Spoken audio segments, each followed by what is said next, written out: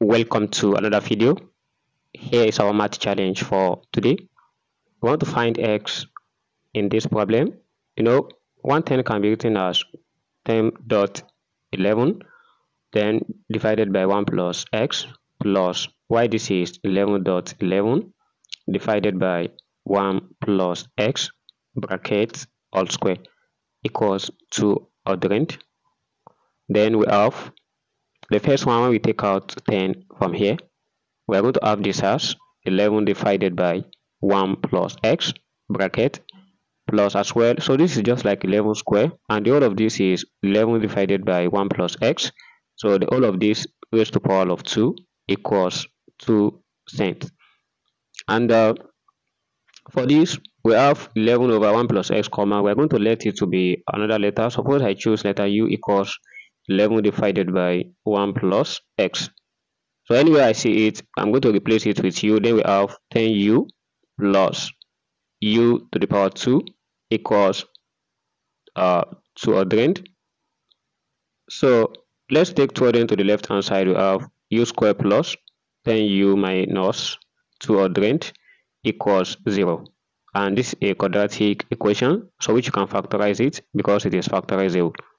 So we're going to take uh, u square plus if this is 20u minus 10u minus 200 equals 0 so let's combine the first two together which is u square plus 20u we bracket this minus then here is 10u plus 200 equals 0 so we take out minus and everything become positive uh, in the second sum.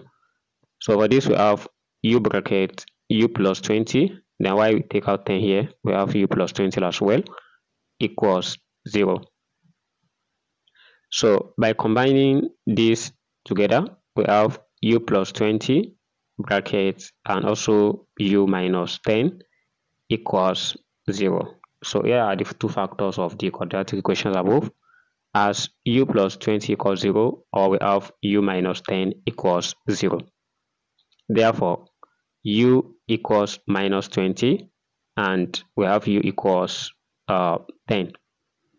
As we got the two roots for the quadratic equation above, we're now going to recall from where we let u equals 11 divided by 1 plus x and uh, uh, we substitute this. For the first case, we have 11 divided by 1 plus x equals minus 20. And when we take the cross multiplication, for this we have 11 equals minus 20 bracket 1 plus x. And again we have 11 equals, let's open the parentheses, we have minus 20 minus 20x. And uh, we take minus 20 to the left hand side, it becomes positive. Therefore we have 11 plus 20 equals minus 20x.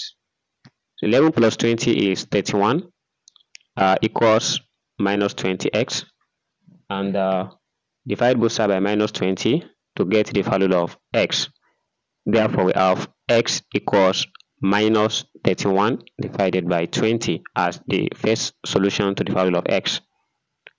While for the second solution, we're also going to be equating 11 divided by 1 plus x equals 10.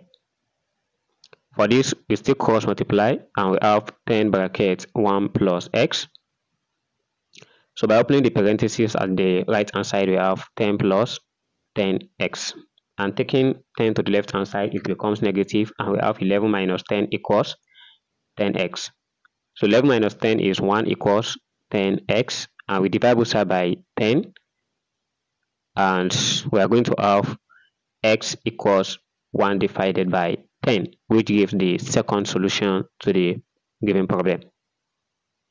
On getting this.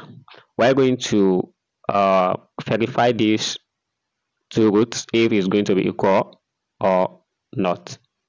We know from this question so the first method i apply is very very effective.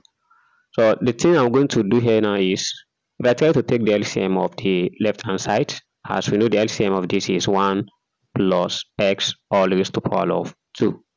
and when we take one out of this from what we have uh, here we are going to have 110 bracket 1 plus x plus so a is 121 everything equals 200 and with this what we are going to do next is since we have the value of x as 1 divided by 10 we try to substitute it in this to check if it is going to be equals to 200 so we have this as 110 bracket 1 plus 1 divided by 10 plus 121 all divided by 1 plus 1 over 10 raised to power of 2.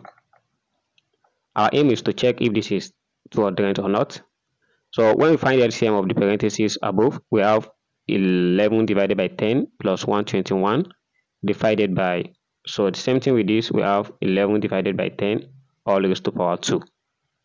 Therefore, we have, so 11 here, uh, we have 11, the 11 multiplied by 11, that is 121 plus 121 all divided by so no 11 square is 121 as well and 10 square is 100 so by adding 121 plus 121 at the denominator of this we are going to have it as 242 so then when we take the reciprocal of this we are going to multiply this one by 100 divided by 121 and at this stage so you know 121 can easily go in uh 242 in uh two times.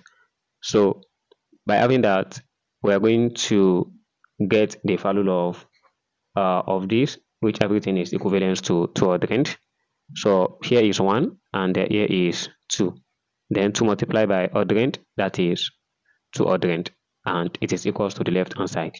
And here's how to do this. So definitely the second one will also satisfy it when we try it and uh, it will be equal. Thanks for watching and please don't forget to subscribe to this channel for more questions like this. See you in the next class